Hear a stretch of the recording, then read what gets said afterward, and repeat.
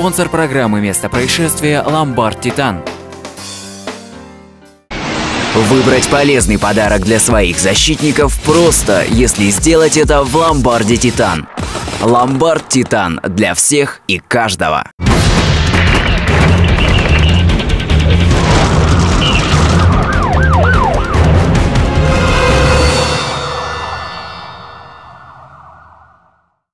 Здравствуйте, в эфире первого городского проекта «Место происшествия». В студии Михаил Вагин. Смотрите в этом выпуске. Госпитализировали с места ДТП. На улице Карла Маркса пенсионер на гранте сбил женщину на пешеходном переходе. 90% ожогов. В Зуевском районе пенсионер облил свою сожительницу бензином и поджег ее. Вскрыли ячейку. Полиция разыскивает двух похитителей электрического удлинителя из магазина на улице Ленина. Парни, отпусти, пожалуйста. Да не, не вариант. Да? Не вариант. Не удалось ни переставить машину, ни договориться с полицейскими. Может не покажет? Покажет. Какой наряд? Все покажет. На улице Широнинцев сотрудники ДПС и активисты ночного патруля за 10 минут задержали двух пьяных водителей. Не соблюдал дистанцию.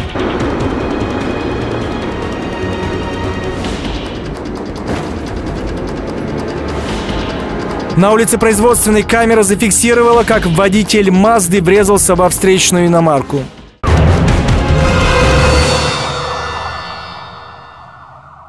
На улице Карла Маркса пенсионер на гранте сбил женщину на пешеходном переходе. Пешеход получила травмы и была госпитализирована.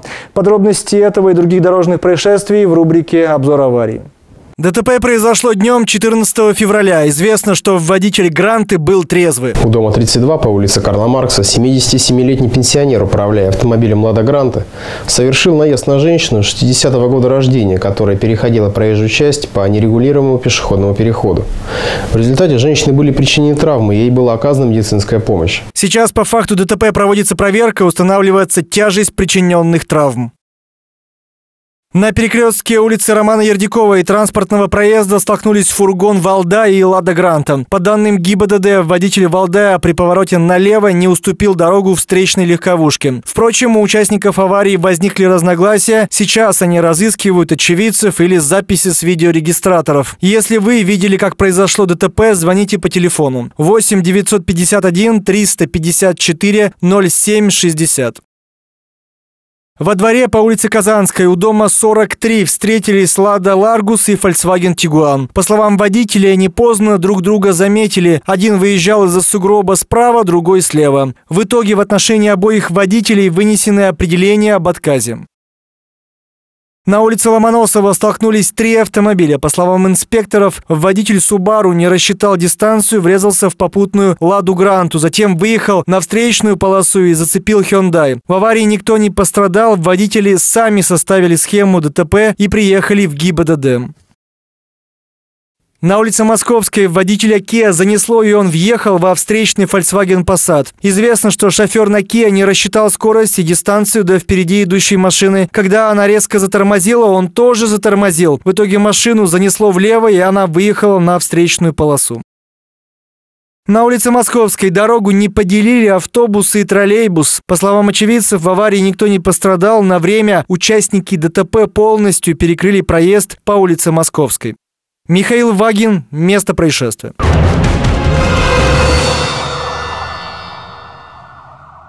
В Зуевском районе пенсионер облил свою сожительницу бензином и поджег ее. Женщина получила смертельные ожоги и скончалась в районной больнице. Сейчас Следственный комитет возбудил уголовное дело. Все подробности в нашей традиционной рубрике «Сводка». По данным следствия, пожилые сожители поссорились из-за алкоголя. Обвиняемый просил деньги у потерпевшей, чтобы сходить в магазин за водкой, но та отказала. В итоге мужчина облил лежащую на кровати пенсионерку бензином, а потом бросил тлеющий окурок. Потерпевшая получила около 90% ожогов тела и умерла в больнице. Сейчас следователи назначили экспертизы, решается вопрос об аресте обвиняемого.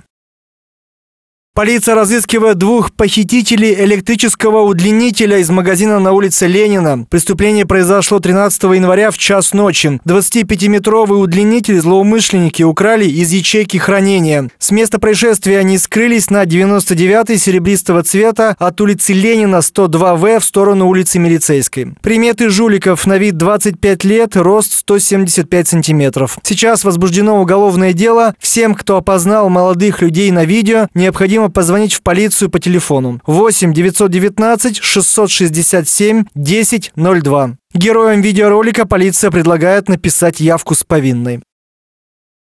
Сотрудники отдела по расследованию ДТП разыскивают очевидцев аварий на путепроводе по улице Московской. Напомним, столкновение произошло 13 февраля. Водитель Honda Accord столкнулся с двумя автомобилями. В ДТП пострадали пять человек. Если вы стали очевидцем аварии или у вас есть запись с регистратора момента столкновения, звоните по телефону 588 946 или 8 951 348 89 99.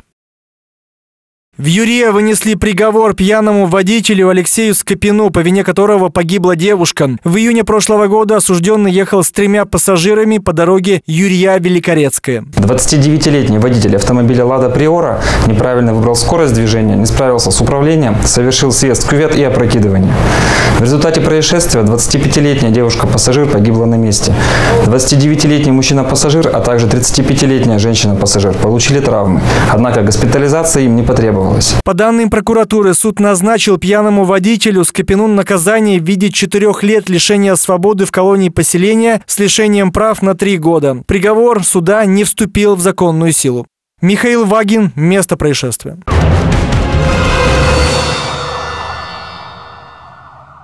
В эфире проект «Место происшествия» и мы продолжаем. Сразу двух пьяных водителей на одной машине задержали активисты ночного патруля и сотрудники ДПС. Первое задержание произошло на улице Широнинцев. Водитель «девятки» заметил патрульное авто, сразу припарковался и выключил фары. Как будто так и задумывал. Затем нарушителя увезли в отдел полиции, а за руль сел его приятель-пассажир. Но он вскоре тоже попался инспектором. Как выяснилось, приятели хотели просто переставить машину от одного дома к другому. У несчастливого для пьяных водителей дома номер 13 по улице Широнинцев сотрудники ДПС остановили ВАЗ девятой модели. Внутри авто сидели двое коллег-автомехаников. Куда едете? Вон здесь рядом, вот у него жена живет в этом доме. Если А, рядом, у тещи. пешком нельзя было пройти. Не, просто он у тещи, а ему завтра на работу на открыть сервис. Мы вот машину просто решили.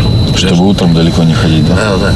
Пьяный водитель Дмитрий не отрицал вину, якобы перемещал машину друга. В то же время мужчина не хотел схлопотать лишение права управления. Дмитрий пытался договориться. Парни, отпусти, пожалуйста. Да не, не вариант. Да?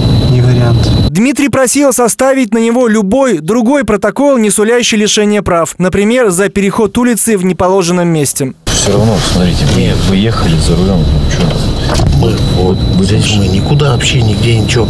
Я знаю, я смотрю ваши передачи постоянно, все как бы это самое.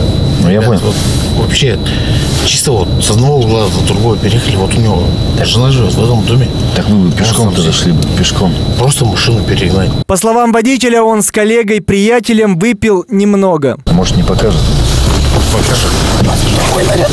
Все покажет. Дмитрий понял, что договориться не получится и отказывался называть свои данные. Его увезли в отдел полиции. Затем инспекторы оформили ему нарушение как на пьяного водителя. Тем временем нетрезвый друг мужчины все это время сидел в девятке. Курил и выжидал момент. Он хотел во что бы то ни стало переставить машину к дому. У вас водитель пьяненький, да? Мы его остановили. Немножко, все понял. Вы только никуда не едете, мы сейчас... Все хорошо, тогда мы сейчас уедем. Все, спасибо, до свидания. Впрочем, пассажир «девятки» Виталий свое обещание не сдержал. Очередная встреча с инспекторами состоялась уже через 10 минут. Ведь Виталий сел за руль, поехал и припарковал таки машину у своего дома уже на улице Чернышевского. Потом на глазах активистов он ловко перепрыгнул на пассажирское сиденье авто. Пересел. Здравствуйте. Здравствуйте еще раз. Машина теперь здесь. ДПС, капитан полиции Крама. А вы на пассажирском теперь. Пересели, что ли? Сзади никого, да? Сзади? Никого. Сперва новоявленный нарушитель все отрицал. Сказал, что водитель якобы убежал. Здесь, здесь Подъезд убежал. Здесь какой адрес? Вот это какой адрес? Да, а стояли вы на... Только что разговаривали... Шаронец. Шаронцев 13. Как машина здесь оказалась? На Чернышевского? Не знаю. Не знаете. Инспекторы заметили, что водитель во время конспирации даже не успел спрятать ключи от машины. Они остались висеть на краю дверного кармана. Ключики успели, да, сюда положить? Нет. Позже в патрульном авто Виталий во всем сознался. Ему очень не хотелось утром перед работой идти за машиной до дома тещи. Я же вам говорил, никуда не ехать. Почему вы по- почему поехали? Так получилось. Вот первый, то есть Дмитрий, да, хотел переставить машину. Теперь вы хотели. Согласен. Это похвально. Машина ваша, да? Нет, Но ездите вы. езжу я, да. Согласен, все без проблем, я не отрицаю. Как выяснилось позже, водитель Виталий – житель другой страны. Гражданин Казахстана. Да, да, да. Российское водительское удостоверение получали? Нет. Нет, не получали. Вот. Обоих пьяных водителей ждет одно и то же наказание – лишение прав на полтора года и штраф 30 тысяч рублей. Судя по всему, на работу коллеги-автомеханики будут ездить на общественном транспорте. Михаил Вагин, Сергей Пичугин. Место происшествия.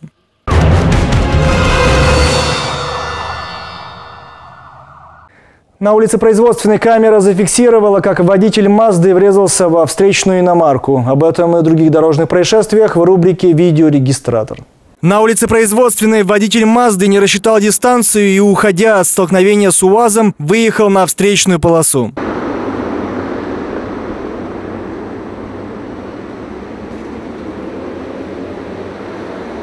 У встречной иномарки пострадала дверь и заднее крыло. По словам автора видео, отчасти причиной аварии стали действия водителя «Тойоты», который планировал повернуть налево. Водитель УАЗа успел остановиться, а шофер на «Мазде» уже нет. Также владелец регистратора уверен, если бы вообще отменить левые повороты, как во многих других городах России, движение стало бы удобнее и безопаснее. На перекрестке улиц Воровского и Сурикова водитель 14 не пропустил фургон Volkswagen.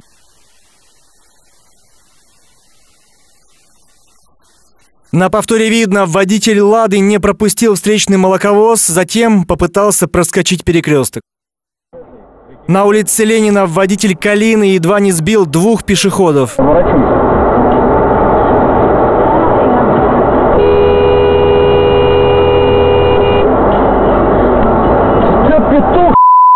На съемке видно, что люди переходили дорогу по пешеходному переходу на зеленый сигнал. Этого водитель Калины якобы не заметил, впоследствии автор видео догнал нарушителя, чтобы проверить его состояние.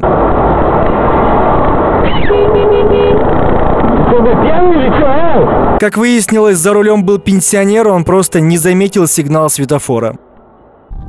В Слободском водитель «десятки», выезжая на главную дорогу, не заметил машину с камерой.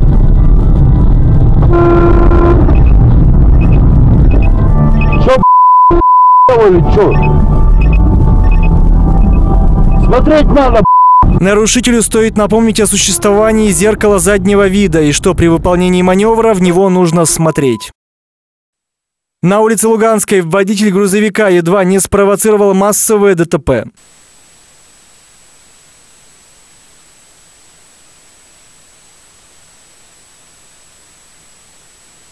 Видимо, шофер поздно среагировал на сигнал светофора. Чтобы не въехать в попутную машину, он выехал на встречную полосу, проехал перекресток на красный сигнал, а там едва не зацепил встречную семерку и попутную десятку. На загородной трассе камера зафиксировала опасный обгон.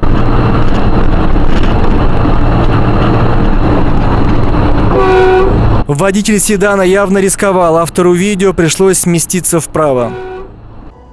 На улице Кольцова пьяный пешеход пытался поймать автомобиль.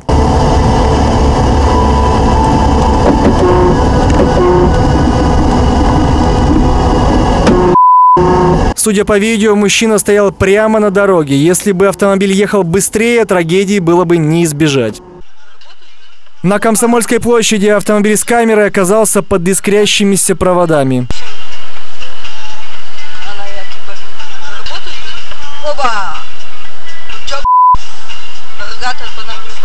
Как выяснилось, у попутного троллейбуса отпали штанги. Машина с регистратором не пострадала и продолжила путь.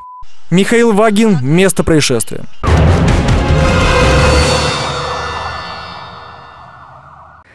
На этом все. Если вы стали очевидцем какого-либо происшествия и сняли его на свой мобильный телефон или на любительскую видеокамеру, присылайте свое видео на наш электронный ящик mpkirov собакаinbox.ru в группу ВКонтакте «Место происшествия Киров», а также звоните и сообщайте информацию по телефону 47 33 02.